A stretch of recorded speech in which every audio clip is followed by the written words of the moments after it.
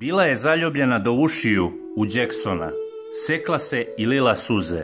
Mina Vrbaški sve zaboravila i pokazala novog dečka. Nakon što je reality zvezda objavila fotografiju sa Jacksonom i posvetila mu emotivnu poruku, ipak je našla novog dečka. Mina Vrbaški je u realitiju zbog Nemanje Đerića Jacksona lila suze nekoliko puta povredila sebe, ali je sada izgleda sve zaboravila. Nedavno je maloletnica priznala da joj Jackson nedostaje, pa je uprkos tome objavila fotografiju na Instagramu sa drugim muškarcem. Ona je ispod fotografije stavila emotikon ljubavnog para, pa se pretpostavlja da je u pitanju novi dečko.